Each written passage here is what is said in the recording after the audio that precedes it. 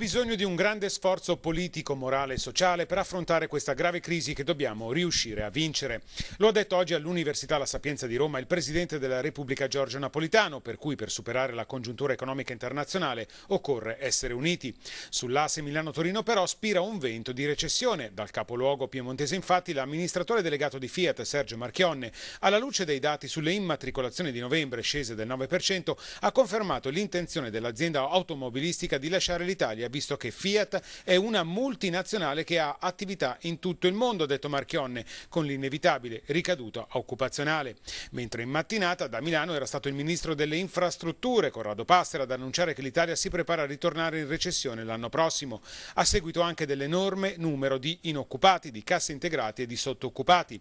Il ministro si è spinto persino a ipotizzare di pagare le imprese creditrici della pubblica amministrazione con titoli di Stato, nel solco dello sforzo proposto dal Presidente del Consiglio che ha chiesto rigore, crescita ed equità per tornare a far nuovamente lievitare il prodotto interno lordo.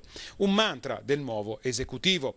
E proprio l'equità è stata al centro della valutazione del ministro del welfare Elsa Fornero da Bruxelles per cui occorre riformare il sistema delle pensioni in Italia in modo da garantire equilibrio tra le generazioni. Al vaglio del Consiglio dei Ministri il metodo contributivo prorata per tutti, anche per quelli che finora si sono tirati fuori.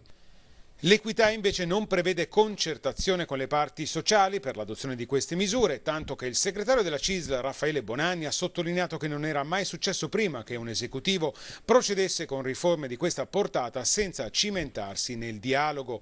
Mario Draghi dall'Europarlamento ha fatto notare in mattinata che i governi devono recuperare credibilità e che l'aiuto della Banca Centrale Europea attraverso l'acquisto di bond della zona euro non può durare in modo eterno. Per questo, ha detto ancora Draghi, occorre un nuovo patto di bilancio che che completi con regole e impegni di politica di bilancio comuni gli stati dell'Eurozona. Il primo ministro Monti è ottimista comunque, si è detto soddisfatto del voto alla Camera sul pareggio di bilancio che esprime una chiara volontà di risanamento, ha dichiarato, risanamento di cui dopo 15 giorni non si conoscono ancora le condizioni.